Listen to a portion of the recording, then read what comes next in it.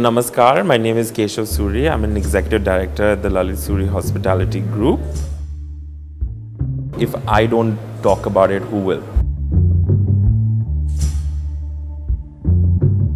I am also what you might call privileged and uh, spoiled and nepotist. Most importantly, I'm a human being. The biggest issue right now is why do we need to get rid of Section 377 or amend Section 377? I can give you a million number of stories of employees of mine.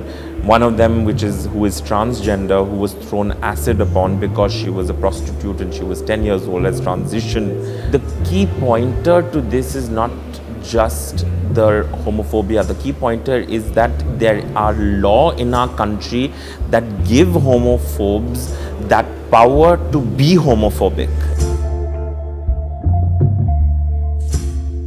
Law should not dictate homophobia and right now it is dictating homophobia law we need to have law that actually talk about inclusivity and diversity we need to have it is unconstitutional for any community in this country to be living under the threat and fear of getting arrested.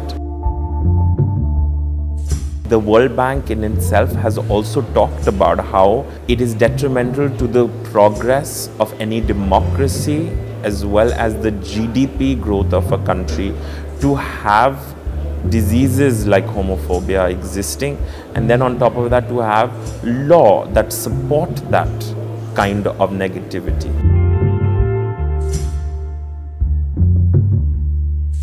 Homophobia exists in every walk of life. Okay, homophobia exists also deeply in countries outside of India too. It's just not only existing in India right now. As a child growing up uh, in an all boys school uh, was not easy